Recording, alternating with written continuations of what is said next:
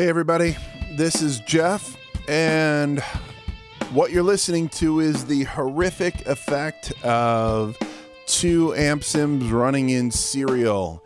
We have an amp sim on the channel strip, we have an amp sim on the effects rack, uh, we have a simple drum track and a guitar track running here uh, for demo purposes. But what serial mode does is just run straight down the channel strip 1 through 8, then comes back up, runs straight down the effects track 1 through 8.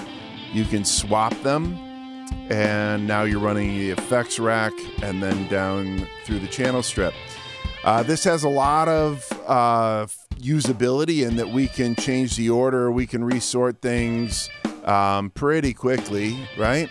We have mix effects um, and gain in, uh, in, or rather output gain for each one of those. Um, let's go ahead and reset that. But still in serial mode, you're you're relatively limited uh, in terms of what you can do. So recently we added parallel processing.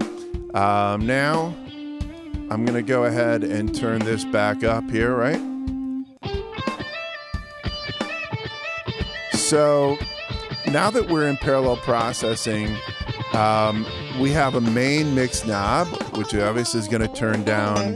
It's going to bypass everything in either one of these. That works in serial mode as well, right? So here we have our two chains running in serial and we're mixing them. In parallel, we can do the same thing, right? We have a main mix but in parallel mode, we can also then crossfade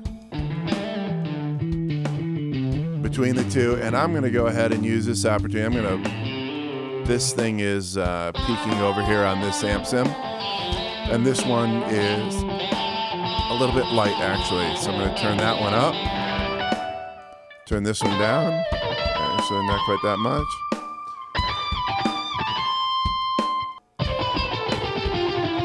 And this is kind of nice. I like this amp sim. However, we're not done. In parallel mode in Agent, each one of these channels also has a pan. So we can make this your left channel. You can make this your right channel.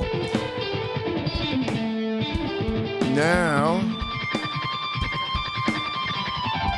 we have very nice and interesting uh, dual guitar amp uh, sim, one going through the left and the right channel. And obviously, we can mix those in in bits and pieces as well.